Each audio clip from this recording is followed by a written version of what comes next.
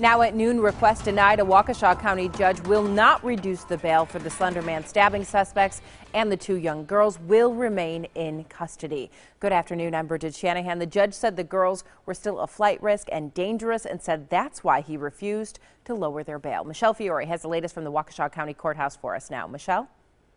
Attorneys for both Anissa Weier and Morgan Geyser prepared very compelling arguments for why the girls' bonds should be lowered. But ultimately, the judge decided that the bond that was imposed two years ago when the girls allegedly stabbed their friend 19 times should remain.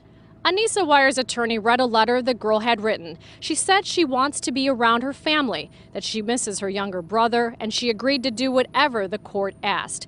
Attorneys for Morgan Geyser, meanwhile, talked about her psychosis and had several witnesses testify that her condition has been greatly controlled with medication and that while incarcerated, she's been molested by a female cellmate.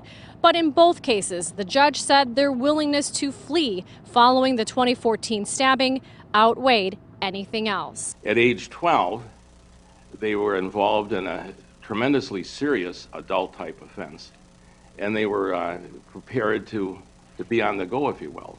Geyser's family walked out of court, parents and grandparents, all tearful, all with no words to say. In Waukesha County, Michelle Fiore, today's TMJ4.